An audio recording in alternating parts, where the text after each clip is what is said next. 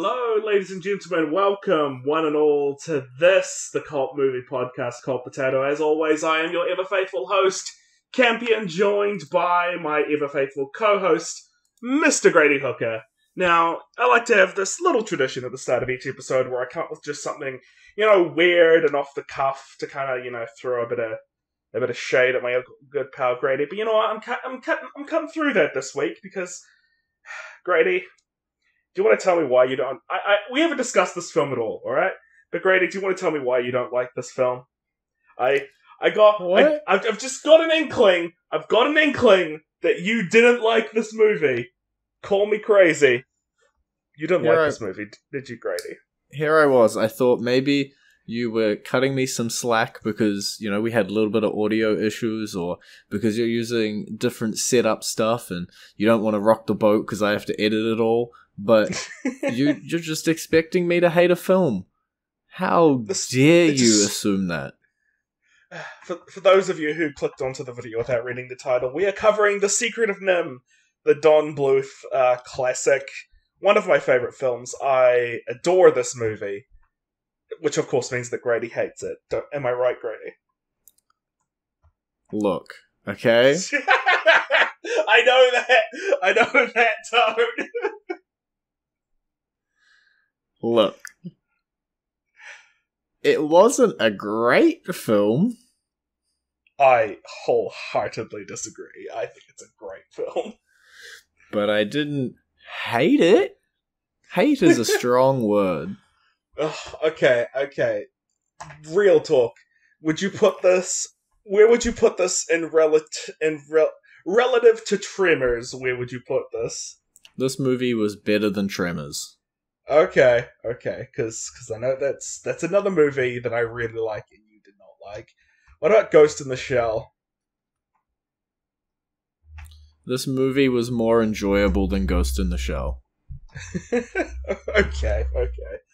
So, um, quick rundown for those of you not familiar with the film. The Secret of NIMH is an animated film by uh, by the legendary animator Don Bluth. It's considered like an all-time classic. Uh, it came out at a time where Disney didn't really have any competitors in the animation market. In fact, they didn't for a long, long time. And even today, well, at least in the West, but even today, I think DreamWorks is like the only real like big competitor they have. Actually, no. The what's what's the, I think it's like Sony Animation or something. I think is another one. Uh, they they've also had like a recent rise with like the Minions. Uh, I think they also did, uh, and I think they also did Into the Spider Verse and stuff. Uh, Uh, Minions know- was Illumination, I believe. Illumination. Thank you. Uh, but Sony they did they they did Into the Spider Verse. Am I correct? I I believe so. You have told me I have to be Mr. Wikipedia today. Uh, Yes. into the I am I am working without my regular setup today, unfortunately. So That means everybody is going to get a lot of clicky clicky clicky from my keyboard. Um, starring editing production company Sony Pictures Animation. Yes. Okay. Okay. And um, yeah, this is so. Anyway, the Secret of NIMH is based on a children's story. I believe it's uh, Mrs. Frisby and the Rats of NIMH. Is That is name of the correct. original book. Yes. So even without Wikipedia, I still I still got that trivia. It's the top almost of my like head. he enjoys the movie. It's almost as if this is one of my favorite movies, and I think it's absolutely brilliant. Oh no. So it's it's it's the story about um these uh, about these uh these small animals living in a um living in the field next to the this this farm. And the uh, harvest day is coming soon. So all of the the animals have to move out of the uh the fields lest they be uh, completely ripped to pieces by the combine harvester. And yeah, and so, and so the main character, Mrs. Brisby, she can't move her family because uh, her son has pneumonia and he cannot go outside or else he will die. And that's kind of the main crux of the film. And Grady, would you like to tell me why this heartwarming tale of heroism and bravery just didn't sit right with you? Why it didn't meet your standards? Look, it was a good film. Like I I still enjoyed sitting down and watching it. Like I didn't feel like I needed that hour and a half of my life back, which is Mm. more than I can say about some of the other films that we've watched for this podcast. Um, it's not a Willy Wonka. It's not one that I'm going to sit down and rewatch and rewatch and rewatch personally. Um, I think it is one of those like if we were going to put these movies into three baskets, we're going to put them in the basket of never ever watch again. Uh, I'm happy that I watched it once and I want to rewatch that over and over again. It's firmly in the center basket. Yeah, yeah. It, it's we've covered a few films like that. Like I think Lab for me, Labyrinth uh, kind of falls into that same basket as well. I'd Something rewatch Labyrinth over and over. Well, well, there, David yeah, Bowie's Bulge, man. there are different, there are different, you know, tastes in different films and stuff. But um, yeah, I, I can see why because it is like it is genuinely a, a pretty film, and I do think it's a fun thing to watch. But if it's if if it doesn't quite click with you, I can see why you wouldn't want to rewatch it, especially since the story itself doesn't really take a lot of chances, and it isn't, you know, the most I want to say original story out there. Like it follows a very formulaic and very expected kind of path. Hmm. So I can see why someone would want to rewatch it. For me, it is. I like rewatching it purely because of like the animation and the music. Because I think that you know, as as a spectacle, I think it's a very pretty and gorgeous film to watch. Especially um, because this was this came out in I believe 1982. Uh, 1982, yes. Ah, there we go. And it, it's great seeing something come from like a, a great piece of animation come from this time that isn't made by Disney. Well, in the West, I mean, there's obviously Japan, but we'll, you know, that's that's a that's a discussion for another day. But it's yeah, for me, like it's it's a very, I, I just enjoy it as like a visual spectacle kind of. Yeah, I can definitely get that. It, it does present something like that. I think the thing that is my biggest problem with it is what you touched on there, which is just the story. There isn't much. Um, there's a lot of little and small things, like when you start thinking about uh, the owl and Nicodemus, when you start thinking about what did uh, the power that Mrs. Brisby had uh, towards the end of the movie represent. Uh, when you start reading into NIMH itself, um, like the real life parallels and stuff like that, there's some really interesting stuff in there. But at its core, it is just Mrs. Brisby going from A to B to C to D. Yeah. And with the exception of like a few moments, she is more or less just kind of pushed through the story.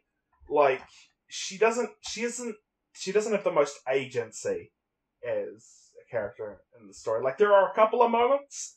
Like I think the part where she has to um uh drink drug dragon's milk dish, I think is probably the strongest one, but most of it is just her being told like, oh, like she goes like uh Mrs. True, she's like, oh, you should go talk to the great owl. She goes talk to the great owl. The owl's just like, oh, you should go see the rats. She goes to see the rats. yeah, it's it. It does feel, even though I do genuinely love Mrs. Brisby as a character, it, it does feel like she doesn't have as much agency as she could. Yeah, it really. Uh, I, I'm kind of torn between going with you know like the the strong solo mother, the lead kind of piece of it, and then like you, you have to note that the the film starts off with her going to Mister Ages, um, and then yeah, as you say, just going to the owl and then the rats, and then she gets stuck in a little bit of a hiccup and is then helped out, um, and lives happily ever after with her kids. Um, and yeah, there's just not a whole lot to it. But when I, I think about it, I'm like, well, where would I add anything or what would I try and do to sort of spice up the movie? And then you start getting into the territory of, well, are you just adding stuff for the sake of adding stuff? You know, is is the movie actually just fine on its own? Yeah, yeah. And to kind of defend the point that I just brought up and argued myself, you you could argue that um because even though it is set in the modern day, especially since this is seen from like a you know a mouse and rats perspective, it is it has very much has the qualities of like a, a kind of heroic fantasy, fairy tale ish kind of thing. Like oh, we go see the wise old creature that's you know beyond our understanding, which is the owl. Uh, you know, the cat is literally called Dragon, and that's how Page is like this horrific monster because, well, let's be real, cats are just horrific monsters. We're just big. We're just too big for them to, to you know, to mess. We're just too big for them to mess with us. Um, and in a lot of those old heroic fantasies, the hero does just get pushed around from A to B. It's like, oh, hey, go see the old wizard. Or, hey, go see the wise old sage. Go see these people. Go to these people. And then only really towards the end do they really do anything. Because, like, when you think about it, Lord of the Rings is mostly just Frodo being told, go see, uh, go, there's a Rivendell. Oh, well, you need, now you need to go all the way to Mordor. Well, do this, do that. You know, it's, it's how a lot of those old stories tend to go. Yeah, at one point during this, I did start to wonder if the story was told from the perspective of one of her kids, like retelling the story, because yeah. that's how it seemed. Like, so much as you say, like the cat being called Dragon and everything just being like an, an adventure fantasy novel, just sort of lent itself to having that childlike narrator. But then I have to think to the time, right? It was 1982. That's just what fantasy animation and all of that was back then, and, and still is now to the point. Yeah, to honest, a lot of children's film in general were like that because when you have to think about it, um, a lot of animation at the time, and even now, you know, a lot of animation is compared to Disney. You know, the big granddaddy of Western animation. You know, he wasn't the first, but he's the one who kickstarted the whole thing, or at least made it. There's a reason why they became so big and that's what Disney does. You know, a lot of fairy tales, like a lot of their stories, they just directly adapt fairy tales. Uh, okay, usually I would look this up, but Grady, you're the one with the computer, so could you oh, look no. up what Disney films came out around this time? Okay. I want to say The Little Mermaid, but List I think that was like the 90s. Disney animation films. Okay, okay, I got this. I cannot mess this up. Theatrical animation films. I got this, I got this, I got this, I got this, I got this. What am I looking at? 82. Uh, 1981 was The Fox and the Hound. Uh, 1985 was The Black Cauldron. oh man. Okay. Uh, okay, so it's it's not the best compare. Okay, so that that isn't Disney's strongest showings. But uh, you know, the 1977 was Pete's Dragon. Yeah, that was yeah, that's an okay. It's a movie that I think is okay, but a lot of people really seem to like. Um, um, The Little Mermaid was 1989. Ah, okay. Uh, later on, and we've got what is this? Beauty and the Beast in 1991, Aladdin in 1992. If you go further back, Robin Hood in 1973, mm. Jungle Book 1967, yeah. Mary Poppins but, 1964. Yeah. Okay. Sleeping okay. Beauty, okay. We, we, we don't have to. We don't have to go through every animated film Disney had ever put out, but yeah, it's the whole fairy tale high fantasy as well the whole fairy tale aspect is something that just a lot of kids films did back then and like you said before they're still doing yes because disney released in let me scroll down to the new stuff uh uh Encanto, i believe is very was is the latest disney like turning disney red specific came out this month march sorry to turning date the recording is, those turning red is Pixar, though. That's true. It? it is Pixar. Sorry, I guess I if you're going of... strictly under Walt Disney Animation Studios, oh, then Encanto. Was, yeah. Yes, Encanto. Uh, and then prior to that, it would have been Raya and the Last Dragon. And then Frozen. So... well, Frozen too, but yeah. Well, true. Sorry, I'll get specific with you here. Respect. But then Wreck It Ralph. Canon, so Grady. respect the animated canon. Look, I haven't seen either of the Frozens, and I'm kind of glad about that. The first one's pretty decent. The second one's eh, it's a miss, if I'm honest. You can miss it. Uh, but yeah, it it's it's hard because I think with a lot of these films that we're watching, uh, and it, it's weird to sit here and go back in the olden days, like mm. film. I, I can't think of another word that's not like boring. It wasn't as fast animated. Yeah, I think fast paced because a lot of older films are significantly slower paced mm. than the newer ones that come out. They they take time and they let everything breathe, and now you look at movies that are coming out nowadays and everything is just so fast it's a mile a minute if you're not getting a joke or a witty zinger out every like 60 seconds what are you doing and it really feels like there was a golden time between those where things weren't as slow and uh, lethargic and things weren't as straight in your face fast and the furious 62 Yeah. all the way to the moon just jamming action at you I feel like late eighties to late nineties is like the primo period for that. At least in terms of animation, like some of my favorite animated movies, both Western and Eastern, are like from the nineties. So I'm pretty. it's also when you uh, grew up That's true. It is when I grew up, so it is incredibly biased in my from my perspective. because from mine i would have picked late 90s early 2000s which is the same thing as when i grew up same, Same thing, yeah. Um, so uh, maybe it is just preference of style um, Mm. in terms of Yeah. the eras of film that we we grew up watching. Um, Because like we have had issues when we've done ones like um, Assassination Nation and stuff like that around the pacing and necessarily what they're trying to pull off. But we've also had issues with the older films and uh, stuff like that. Even looking at like Monty Python, I think that was really just a stylistic problem. Um, I yeah, think so the problem is that we're just too old. we're just too old for Monty Python. oh. are you too old for Secret of NIMH? Well, no, but that's because it's a timeless tale, Grady. How could I ever be too old for it? It's a I timeless guess. tale of the of bravery and courage. How could you not? How could you not identify with it, with it, Grady? Well, I guess I can sit here and I can say, who was your favorite character? But this movie really only had like four characters. Well, my favorite character is the owl. That's easy. Really? You're just picking the owl? Simple as that? Ugh. Yeah. Fantastic voice. Fantastic animation. Oh, I love the way he animates, dude. And there's also that little touch of ace he's flying away. Because, you know, he has to break through all the spider webs and stuff in his cavern.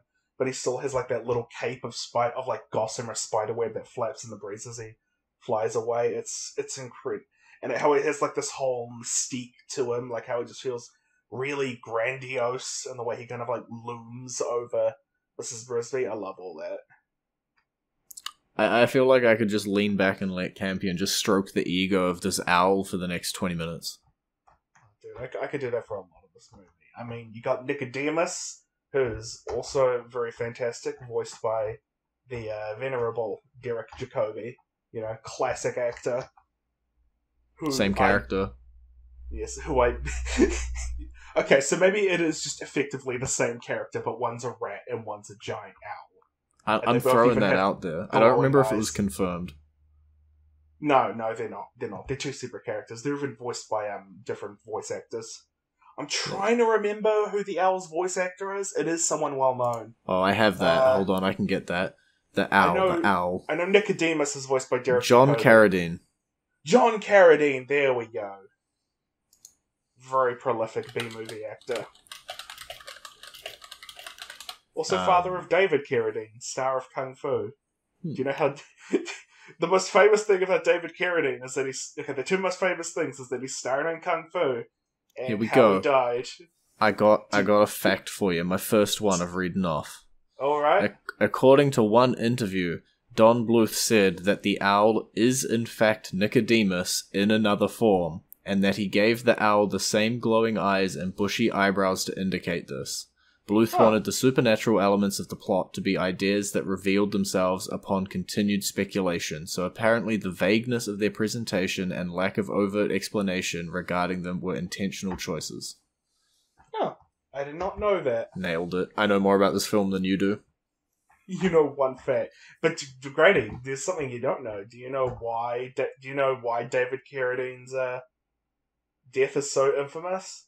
I, I did kind of interrupt your uh, your point there. I'll let you finish that sentence. I just had to slap you down with knowing a fact about one of your favorite films, and I knew that one without googling. Oh, okay, okay.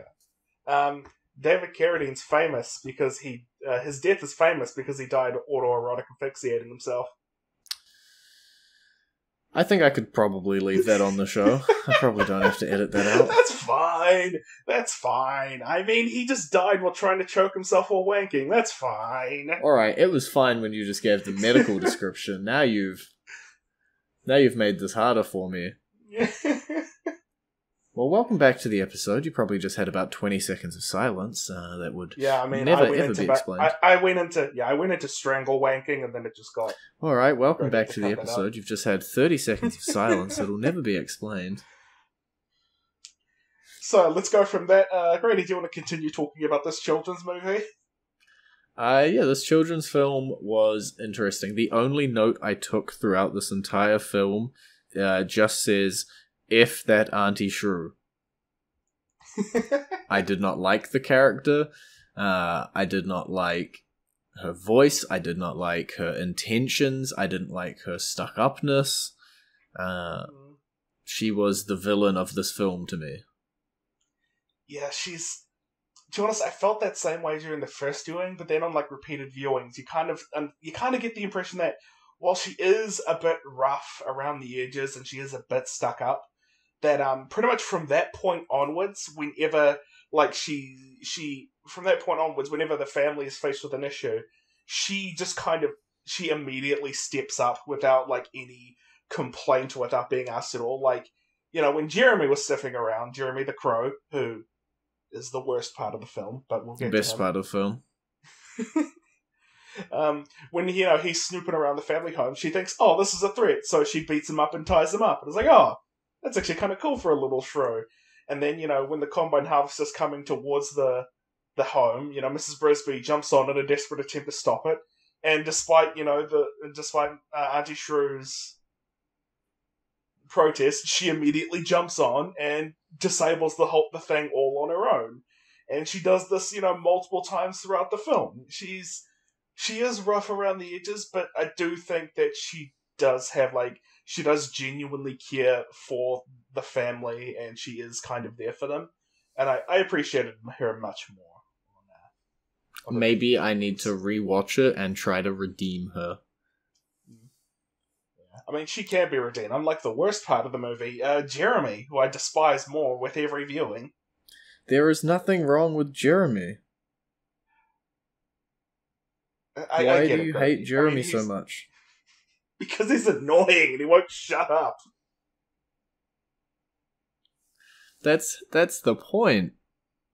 He's the loudmouth, funny, comedic side to Mrs. Brisby's serious piece. If it was just her, then everybody would be, you know, so heartstruck and set with emotion as she's on this journey. When you add Jeremy, boom, now the movie's half a comedy. The problem isn't that he's comic relief. The problem is that he's just too much. If they just toned him down just a bit, it would have been fine. Um, I believe Jeremy was voiced by Dom DeLuise, if I'm not mistaken. Yeah. And don't get me wrong, there were definitely some bits, especially in like the quieter moments when Jeremy isn't being Jeremy, that I was able to to to really appreciate him. But if they just toned him down just a bit, I would have liked him a lot more. And then his whole thing is that he just wants to get laid. That's that's literally his character arc, Grady. It's like, oh, he starts out wanting to get laid, and then in the end, he gets laid. Congrats. Hashtag relatable. Great, great character. To be fair, says the asexual. Um, yes, but yes. look, uh, I don't know. I, I think in a film that is so like I've I've ragged on the plot, but the plot essentially is mother's child is like very ill, can't do anything, and she goes out on this massive quest to try and save him and try and uh, save the entire family so that the combine harvester doesn't just murder them all. And Mm. like at its core, that's a really dark storyline, and there's a reason they had to ditch Disney to to get, pitch this and get this movie made. Like, I This can is- see why they didn't want to. yeah, this is much darker than the stuff Disney was putting out at the time, or even since, really. Because Dis, can you think of anything even recent that Disney's done that's that's that's that's been like of this tone? Discounting Marvel. uh, I knew you were going to bring that up. No, I don't know. There, there's some stuff um, here and there, but to have the entire film focus on it, like even if you just look at simple stuff like Wreck It Ralph, like there was a lot of um, bullying and uh, depression cycles and stuff like that in that film, and um, a lot of like family trauma stuff in Encanto. So there's a there's a good chunk of it, but usually it's the central theme, and then they build a movie around it. Versus Yeah. this one that was just the whole storyline was the darkness. Yeah, because like uh, with modern, yeah, because like you said, modern Disney films they try to tackle like more mature topics or more complicated topics, but it's still surrounded with like that bright Disney kind of sheen to it. Because Encanto focuses does focus a lot on the family trauma, like you said, but it's still surrounded by the by the happy, bright, you know, Disney with all the bright colors and the fun songs and everything. Whereas this, is, you know, even if we're talking about like not only is the story you know quite dark, but also like uh, the actual color palette that they use is also is also in some cases like quite muddy and Hmm. quite. I, I'm trying to think of another another uh, Murky. murky. Yeah, you know, it's it focuses on more the the darker side of the color palette, which I, I really appreciated. I mean, Disney kind of did that with the Black Cauldron, but that movie sucks, so it doesn't really get a pass. I guess there's two things off of the IMDb trivia to bring up at this point, which was, Mhm. you know, at the time of this movie's release, and we'll get to how much money it made and stuff like that at the end of the show. Campion has made me prepare that info. Yeah. Um, Spoilers, not a lot. no, but at the time of its release, it was the largest non-Disney animated movie. Hmm. Um, and it's spoilers, yeah, it didn't make a whole lot, which just shows you, I guess, to what Campion was trying to say earlier, the lack of competition that Disney had. Um, in that a movie could come out and do not great and still be the largest non-Disney animated movie. yeah, Disney yeah, did have a stranglehold over the animation scene. Yeah, to the point where most of the people working on this movie are ex Disney animators. Like Don Bluth himself got fed up with the Disney formula and stuff, and that's why he left to go start his own animation studio. Uh, he did a bunch of stuff. He did this. I think this was like his big first theatrical stuff. Uh, one. He also did like uh, All Dogs Go to Heaven, Dragon's Lair. He he did a, Anastasia. He did a whole bunch of stuff. Yeah, it was uh, the second piece of trivia off of IMDb. Uh, Don Bluth, John Pomeroy, and Gary Goldman all left Disney so that they could pursue this project. They pitched it to Disney. Disney said it was too dark. It would never be a commercial success. They were kind of right. Uh, and they left to go make this film, and it ended up with uh, 21 other Disney animators also uh, jumping ship. Uh, the trade press called them the Disney defectors uh, so that they could make this movie, which is, you know, if you're taking the best of the best from the only animation company in the business, you're probably going to produce a pretty film.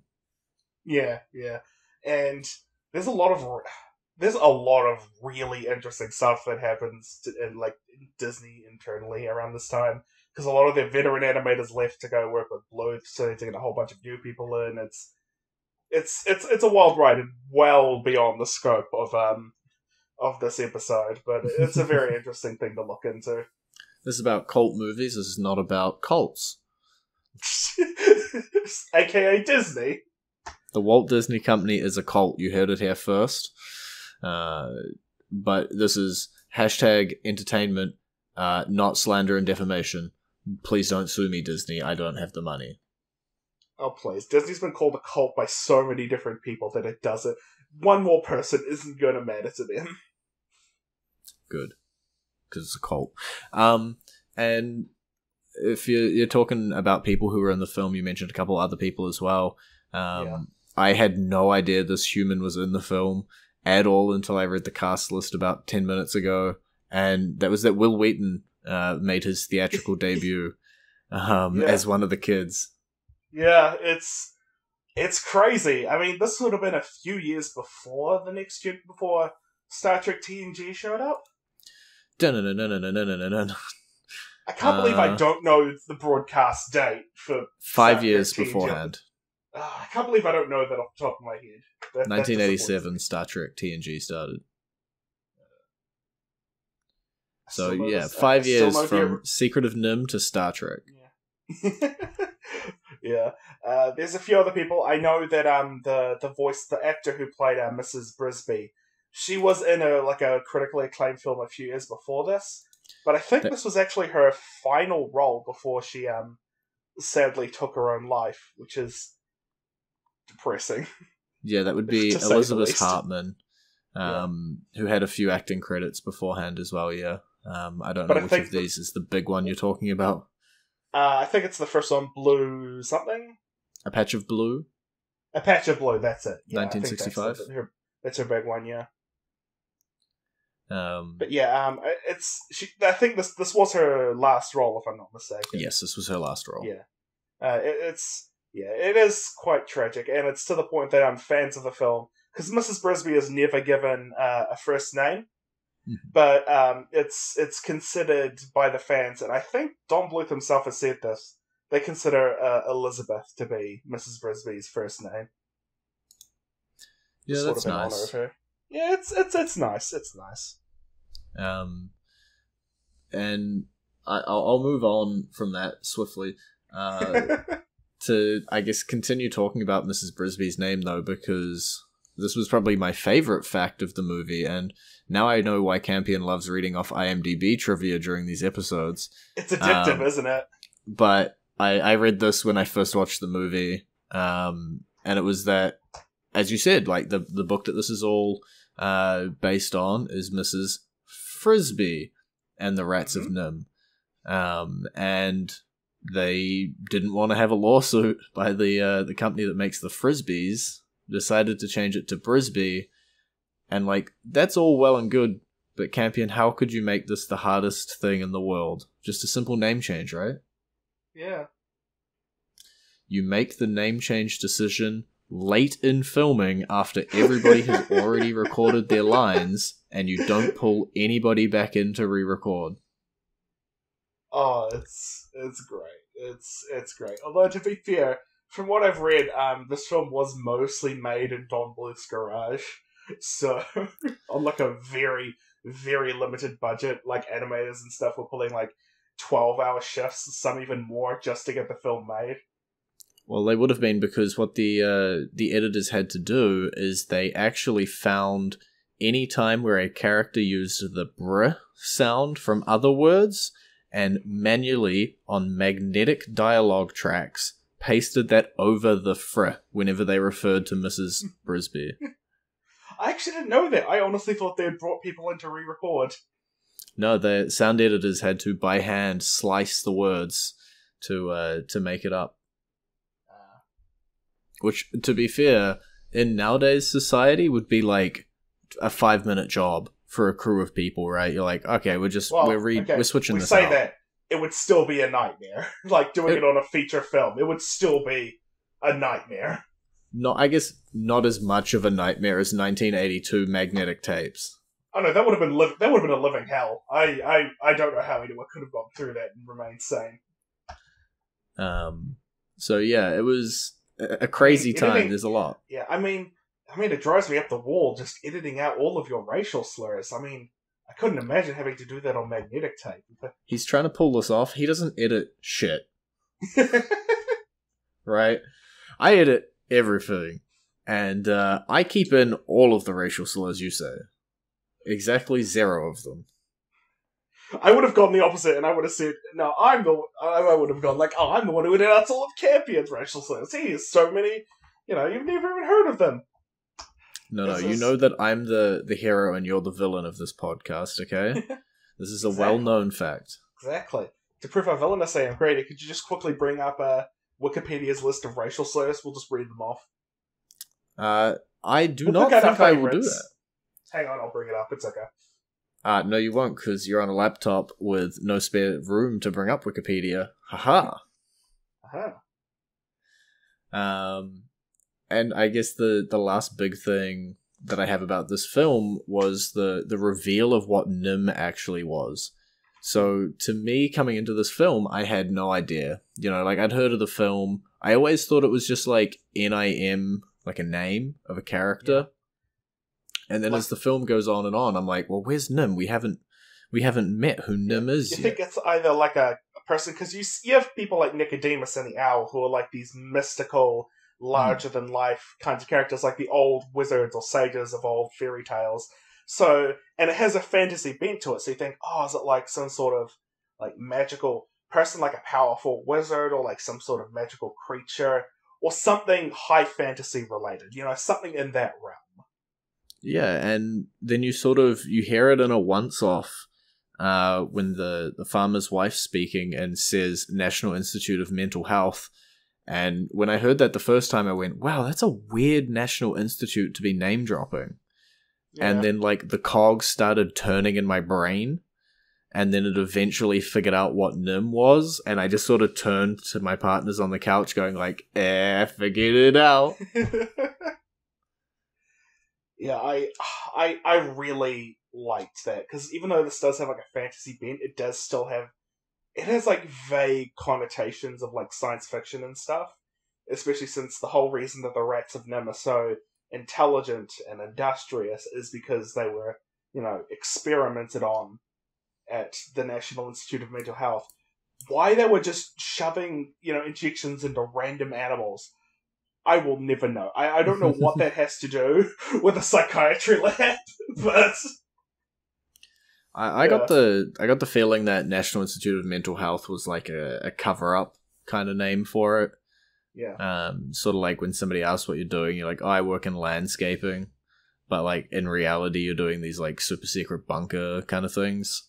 yeah, Um, I, I got that it was a a governmental uh institute name cover up kind of deal.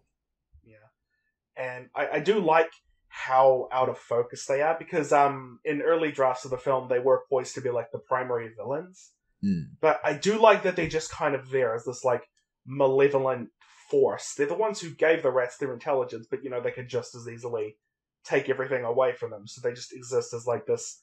They're kind of like, um, kind of like the combine harvester. Actually, like it's this thing that exists that could wipe them all out, and they can't really do anything about it. All that they can do is just get away from them.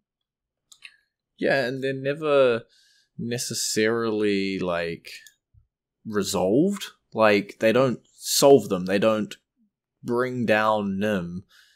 Yeah. NIMH still exists.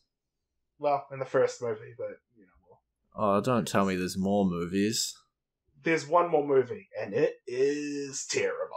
Okay. Secret of NIMH 2, Timmy to the Rescue. It What? sucks.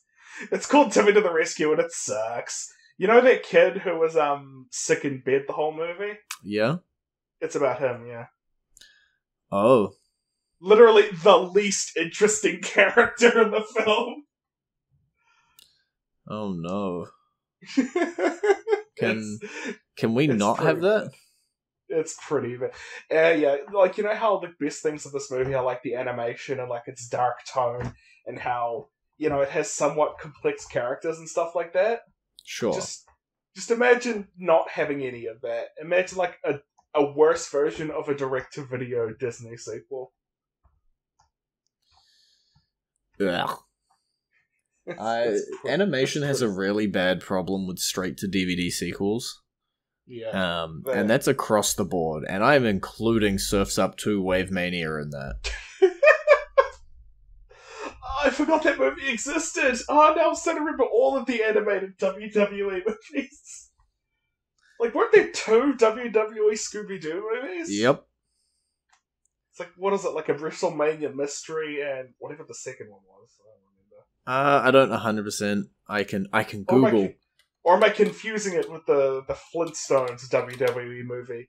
They have, I, I think CM everything you've listed is correct. this like CM Punk Rock is. You know, you also you know the Flintstones WWE movie where CM Punk was the main villain was released. What came out after he was released. Wow.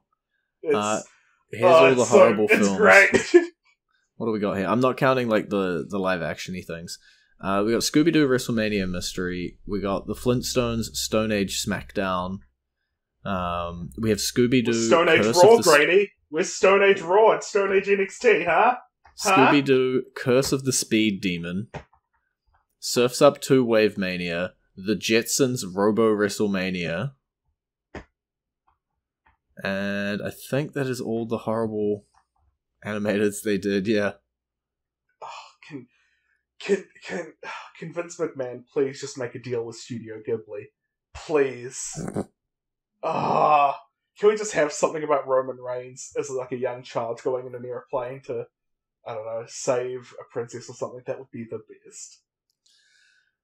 No. and I demand that the Japanese dub still have Roman Reigns doing his lines in Japanese. Good luck with that. um, oh. But I guess one of the big things I did want to bring up before the film ended was, you know, we were talking about, or you were mentioning earlier, that this is one of your favorite older films from the the West. And I guess Yeah. if you can just sort of compare it to the sort of Eastern movies that were also coming out around this time, what was sort of, I guess, compare and contrast, Campion. Oh, okay, so most of the anime I've watched, like older anime, comes from the 90s. So I don't actually have a lot of the 80s to compare. Most of the 80s I have to compare is like Mobile Suit Gundam and stuff like that. So it's it's not it's not one to one. I mean, unless could have never giant robots, I don't really think that would work. But it does it doesn't even remind me of a like if I were to compare it to say a Ghibli film. I think it, I think it would because that's the only frame of reference I had. I I would say that you know Studio Ghibli stuff does come out on top when you compare it to this, but that's that's for a whole different reason. If I'm being honest, I think it's because um, the Ghibli films just tend to just appeal to me more. Like they tend to cover things that I or at least I, I find them just more relatable because a lot of them do focus more on like younger characters and, in childhood, and I saw those movies when I was a kid. Whereas Secret of NIMH is something that I saw as an adult, so I appreciate them differently. So I guess uh, I don't have a conclusive answer for you, Grady. My my answer is just a shoulder shrug. It's like I don't know, they're both good, I guess. Look, I tried to be your English teacher here and give you an essay topic and tell you to compare and contrast, and you answer me with a shoulder shrug. that was that was on the final exam. That was on my final English exam I ever took. It was just a picture of me shrugging. Like, I'd believe So I don't that. know. What does this represent? I don't know. Um, and yeah, we're sort of coming towards the end. Uh, I have to do the Hmm. budget numbers uh, so I can Yes, close throw these it- hit us. tabs. Hit us with the hard facts, Grady. Well, did you know that the movie was originally budgeted at six and a half million dollars, but it was reduced after the production was underway? Uh, and Gary Goldman and the other producers actually mortgaged their houses to try and raise the extra money they needed to complete these movies. Uh, and it still Yes. ended up just under seven million dollars for the budget, uh, which yes, was I have heard that. a lot less than what Disney was paying, even in their Oh, yeah. uh, massive studios. Even nowadays, with like the advances we have in computer technologies, and you know, adjusting for inflation and everything, that's still really, really small for a uh, for an animated film.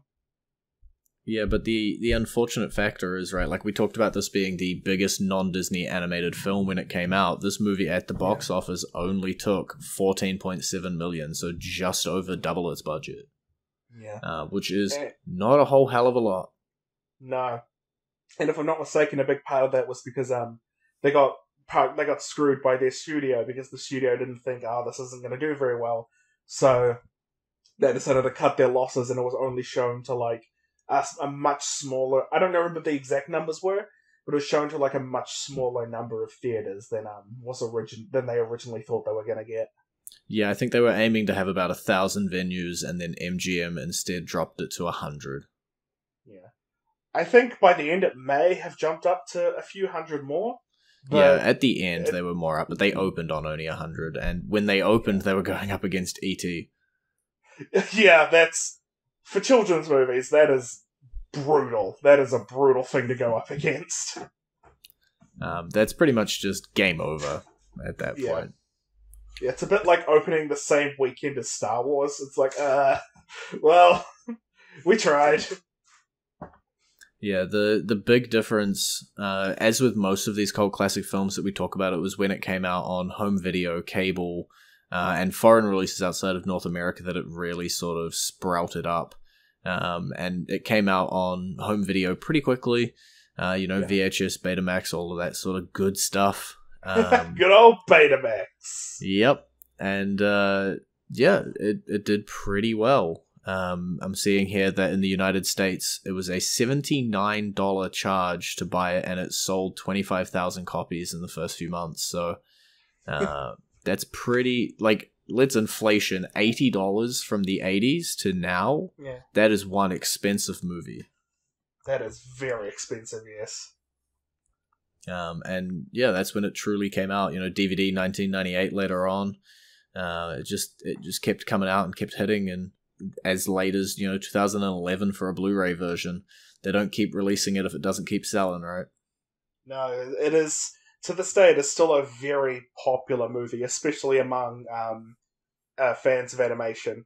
It, it's it, it's it's it's a very unique film, especially compared to a lot of even like though animation has actually grown up, especially in the West, has grown up a lot since then it's still very unique compared to a lot of the things that we get now.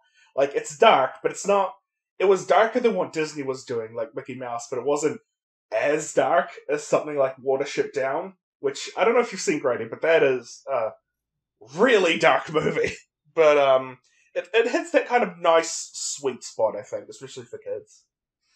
Yeah, and that's honestly where it is. A lot of the times as well, the the problems we struggle with these films is that when we try and review them or we try and talk about them, we're just simply not the audience, right? Like, I can sit here and I can bash Secret of NIMH as much as I want, but ultimately, this is a children's film.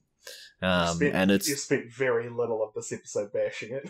that's good. I don't, I try not to just bash a film for the entire forty five minutes, yeah. um, but like you know, eh, different strokes for different folks, right?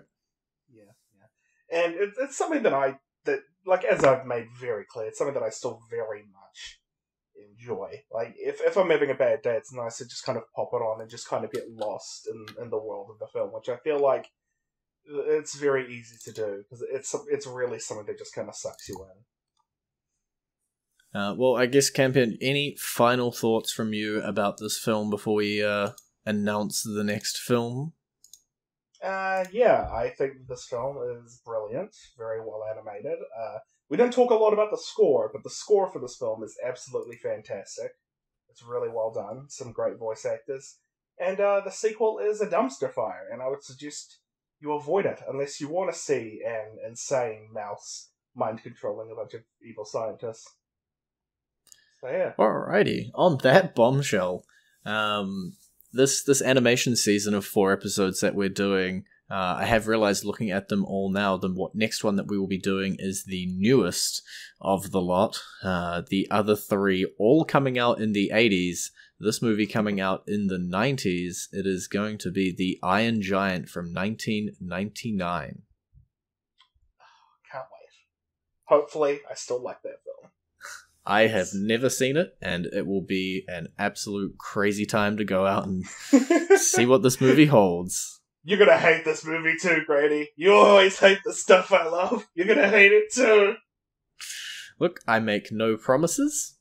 Well, I'll call them as I see them. yeah, uh, so I think I was just going to say, I don't want to steal all of your hosting duties. I, I, I want you to still to wrap up. Just because I got Wikipedia oh, in front of me doesn't make me the host. Good. No, that's right. Yeah, know your place. God. Anyway, I could just hang up on him right now and cut the edit. thank you, everyone, for joining us on the show today. As always, we have been Cult Potato. My name is Campion. Here with my good buddy Grady. We have been the Lexicon of Lore, and I hope to see you all next time.